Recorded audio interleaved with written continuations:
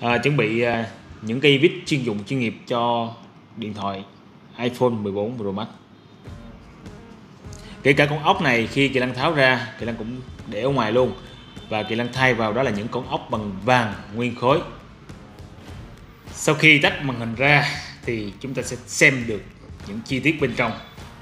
Và đây là các chi tiết nằm bên trong chiếc điện thoại iPhone 14 Pro Max à, chỉ có quả pin là diện tích chiếm nhiều nhất. À, camera. À, khay sim. Đây là chỗ khay sim vật lý này các phần còn lại của chiếc điện thoại iPhone 14 Pro Max này tháo rời hoàn toàn ra để Kỳ Lân làm thay hoàn toàn phần sườn này và phần cụm camera này bằng vàng nguyên khối đến kim cương. Kể cả Kỳ Lân cũng sẽ đúc cái khay sim bằng vàng nguyên khối luôn.